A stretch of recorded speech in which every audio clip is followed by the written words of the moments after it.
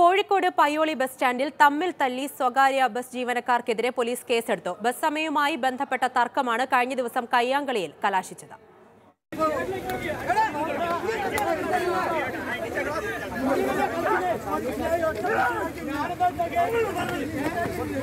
പേരാമ്പ്ര വടകര റൂട്ടിൽ സർവീസ് നടത്തുന്ന രണ്ട് ബസ്സുകളിലെ ജീവനക്കാരാണ് കഴിഞ്ഞ ദിവസം പയ്യോളി സ്റ്റാൻഡിൽ വച്ച് ഏറ്റുമുട്ടിയത്.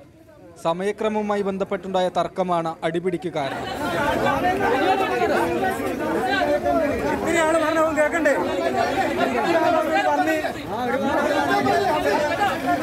ബസ് ജീവനക്കാരായ ജെറീഷ് ശ്രീജിത്ത് വിഷ്ണു മുനീർ ബിനീഷ് എന്നിവർക്കെതിരെയാണ് പയ്യോളി പോലീസ് കേസെടുത്തത്.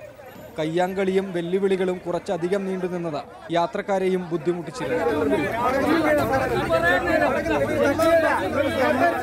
പോലീസ് എത്തിയാണ് രംഗം ശാന്തമാക്കിയിരുന്നത്. മാതൃഭൂമി ന്യൂസ് കോഴിക്കോട്.